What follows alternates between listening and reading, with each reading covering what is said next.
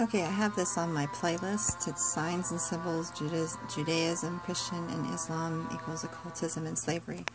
First, I want to say that I don't agree with everything that is on my playlist or on my likes. Um, watch them, but ask the Holy Spirit to guide you to all truth because um, the Holy Spirit can only give you life, and that means truth also. Ephesians 4 4 through 6 says, There is one body and one spirit, even as ye are called in one hope of your calling.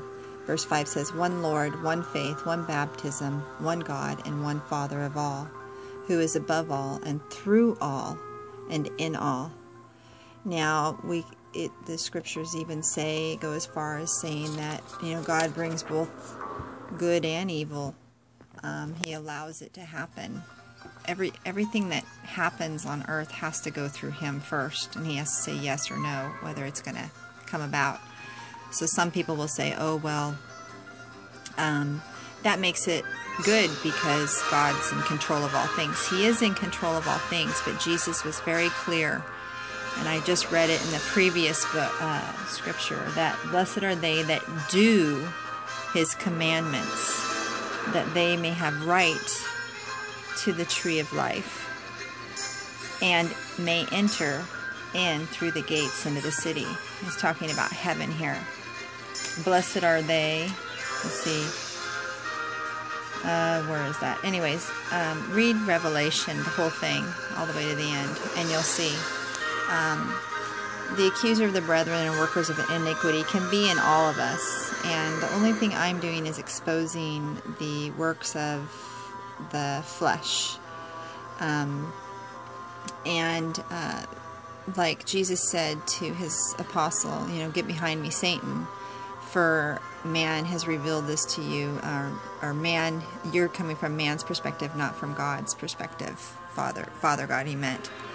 Um, they had messed with his name in the text and everything. So go go to him and ask him to teach you the truth about all these things. Anyways, there's this one and then there's another one that I would say that you should watch so that you can have um, the truth. Um, let's see, it's this one about the black cube. And inside this black, um, I think I did a video on it, there's a black um, uh, asteroid in it which we know stars are angels, messengers, and fallen stars are fallen angels, possibly. They walk around it, the black cube, and the black cube's also on the heads of the Jewish, they could say it's the law in the head. Now, their law is different from God's true law, which was light according to the word.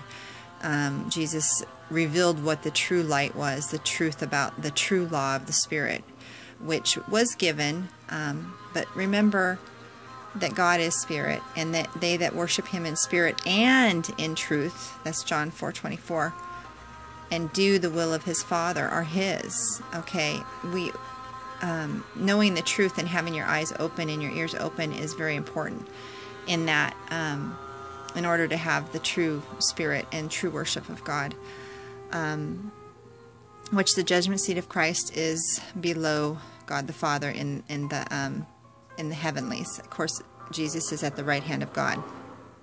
Also, so um, there's we can't know all these things exactly how it works. I kind of have an idea,